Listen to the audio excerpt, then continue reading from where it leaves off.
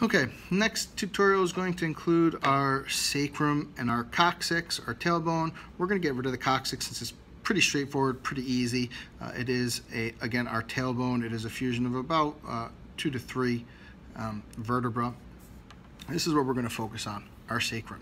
Super important as it serves as a major attachment of our axial portion to our appendicular that form those nice big uh, heavy duty good bony fit of that hip joint and our legs. So let's look at some of our landmarks. We're going to look and focus here on top. This is our base. Uh, off the edge is going to be our sacral promontory, promontory like an overlook.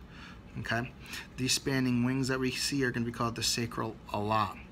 Now, you're noticing that there's some holes here Okay, well we see the holes from this view as well as this view. It's super important to be able to orient this and understand that when you hold the sacrum curved inward, okay, facing towards the front of your pubic bones right here, this is all directional. These are our anterior sacral foramina.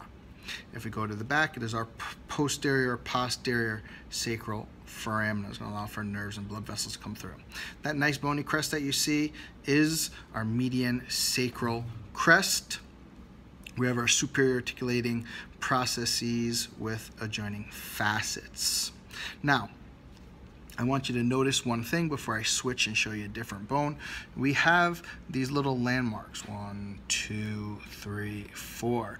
Remember, the sacrum is a fusion of three to five vertebrae. One, two, three, four, five. And you can see the remnants of the body, the crest on the body. Okay, so let's just switch gears. I'm going to a real human bone here. I like this one a little bit better because you can see that median sacral crest is a lot more prominent here. Okay, you can see those posterior sacral foramina. Again, foramina just means plural for holes. Now, what we couldn't see on the plastic model was this canal right here. This is the sacral hiatus. Okay, this is where that um, filum terminale is going to affix to the coccyx, where our spinal cord is going to anchor into the coccyx.